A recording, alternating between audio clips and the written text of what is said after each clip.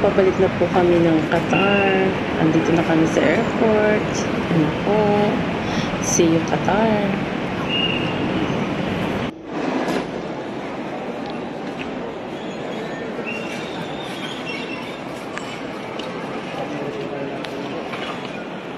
Ah.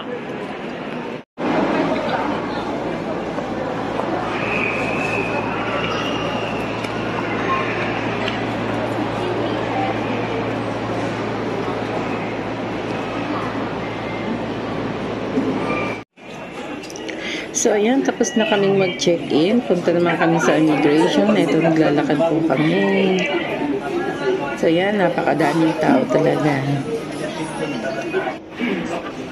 At nakunan ko rin ng konti yung, ano, yung labas sa airplane. Habang naglalakad kami, ginanan ko siya ng short video. So, see you Qatar at sa mga kaibigan ko dyan. Ito, biyahe na naman.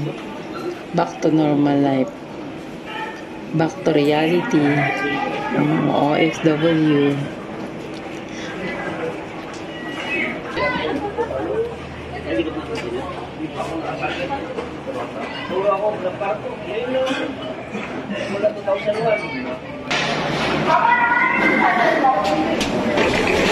So yun guys, pasakay na kami ng airplane. At ngayon, nandito na kami at nasa Himpapawid na. So yan, travel na kami. Kahit nga dito sa loob ng aeroplano, matutulog. 8 hours yan. Medyo na traffic kami. Na-stranded ang aming ano, ang aming flight. Uh, late po kami ng 30 minutes pero mabilis naman ang biyahe namin. Nakaya din naman. So dumating kami ng ano ng airport dito sa Doha ng 11.30 tapos na nakatlabas kami dito uh, ano na one mag uh, quarter to one.